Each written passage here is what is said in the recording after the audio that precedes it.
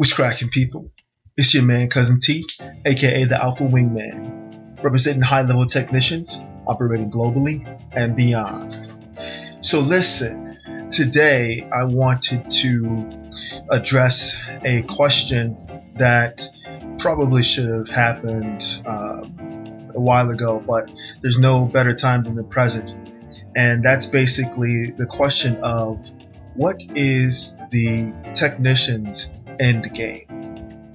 So, first of all, let me break down a few things here because the term technician is a, uh, a symbolic term that I uh, coined, and basically, it is a combination of a couple aspects that are already out there. Okay, the ASP is something that I put out there as well, which is the um, uh, alpha show piece. And what an alpha show piece is, I'll leave the, a, a link to a, a, a, larger description in the uh, link below. But an ASP or uh, alpha show piece is a man who has attained a level of physical presence. He has uh, a pre- presentation that has a combination of his natural genetic stock and a presentable frame that is the result of years of hard work, hitting the gym, um, weight control, monitoring. He may have had some um, professional coaching sessions with a choreography uh, coach. Uh, he knows how to control his body, you know, shoulders back. Uh, he has basically created a signature look for himself. And so basically, whether uh, the person's endomorphic, ectomorphic, or mesomorphic, um, this is a presentation of their optimal presence.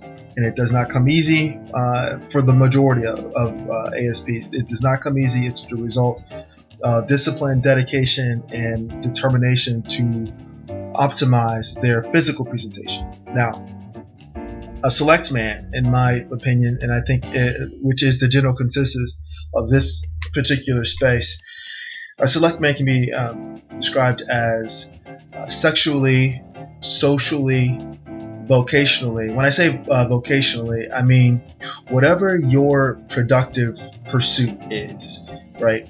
Whether it be entrepreneurial or career wise, whatever it is. And I, I like to use the word vocational because these are skills um, that are transferable. When I when I say the word vocation, I mean what skills have you learned and or mastered that are transferable and can um, be used to generate income and can be leveraged into value um, across many spaces. That's so so that's what I mean when I say vocational.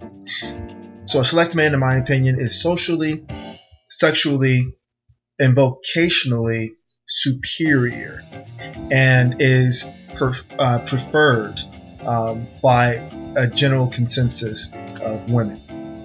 So you combine those two features, the uh, alpha show piece and the select man, and you get what I refer to as a technician. And basically, a technician is a high level operative who is capable of uh, running shit basically up there with the masters of the universe. Uh, has the flexibility um, and the savviness and the wisdom, but also the pragmatism of uh, a perpetual student. A technician is wise enough and understandable, or understanding enough and patient enough to know when he's in the presence of a master.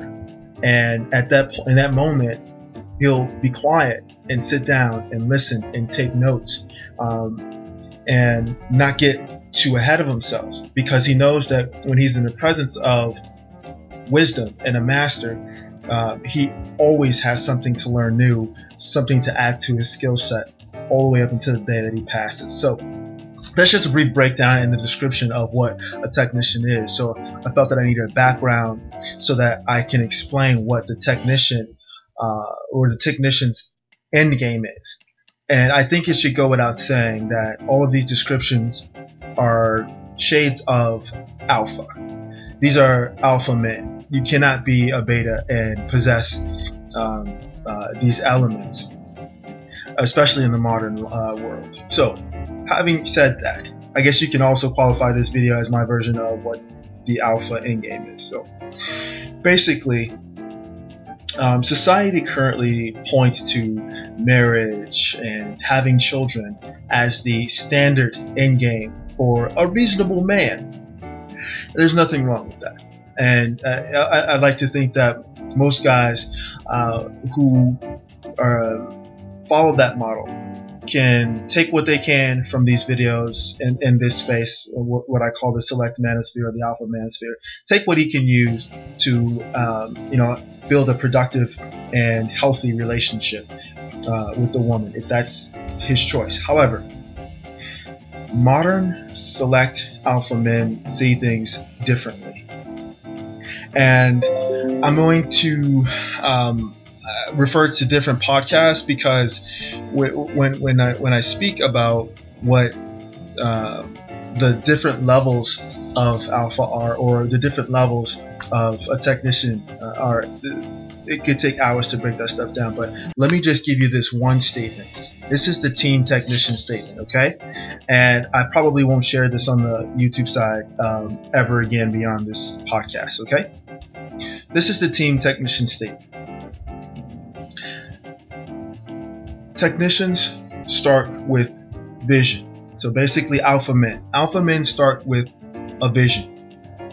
That vision becomes a creation. That creation forms structures. All right, let me pause it right there. What does that mean?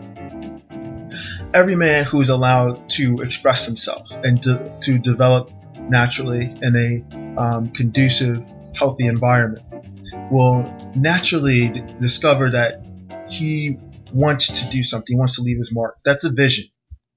And if he's given the tools and he's given the resources to uh, start to put that vision together, that becomes creations.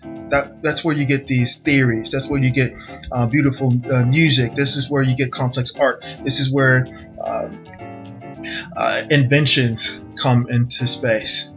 Now, these creations form structures. What are structures? Structures are the uh, buildings, are the plants, the factories that house and mass produce and um, uh, supply the, the space for the creation, right? So you got vision, you got creation, you got structures. Beyond that, those structures grow into systems. Now, I've got multiple videos uh, coming down the pipe or podcast uh, coming down the pipe that dis- discuss what a system is and how important a system is to alpha men, to select men, um, and to technicians. Those systems evolve into institutions. Now, what are institutions? Institutions are banks, institutions are universities, institutions are family trusts. These are things that get passed down. These are where the legacy and wealth are transfer, uh, transferred generationally, right? And they're also structures that keep communities together. An institution is something that a culture can be um, solidified around. Those institutions crystallize into paradigms. Now, the fact that I mentioned culture should give a hint as to what um, a crystallized paradigm is. But give you two examples, and this should, um, should should exemplify this for you. Jazz, okay, was an institution that became a paradigm in hip hop. That's another institution that became a paradigm. Now, where they evolved or de-evolved to, that's another conversation uh, that can be had in different spaces. I, I feel passionately about both of those things, uh, but I won't discuss those here. But I just wanted to give you two examples of institutions that crystallized into paradigms. And here is ultimately the end game for technician, select man, ASP, however you want to say it institutions that crystallize into paradigms that ultimately establish worlds. Okay, I'll say that one more time.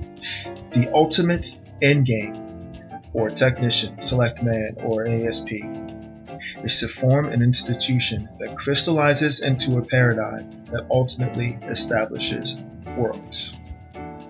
That is head and shoulders above and beyond any and everything that 98% of content producers of uh, societies of, of, the world thinks and views uh, about what um, uh, the modern man should be doing.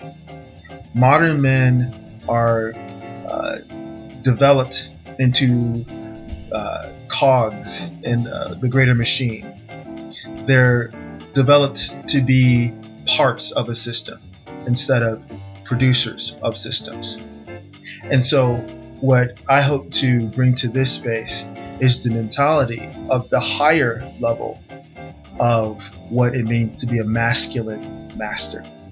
And don't worry, I, I never leave out the women's role because women are so important, right? The, the fact that my, I myself and uh, men like me can say that we truly love women because we understand who we are um, speaks to their role and how we uh, create the the ultimate muse, right? The feminine energy that inspires the masculine mastery, that, that inspires uh, a real man to produce, to go conquer environments, right? But in this space, when we talk about truly truly select men and technicians, we use feminine energy to manifest vision. Of course, that's another uh, video in and of itself, but I just want to leave you with that aspect. So that's that's basically the 360.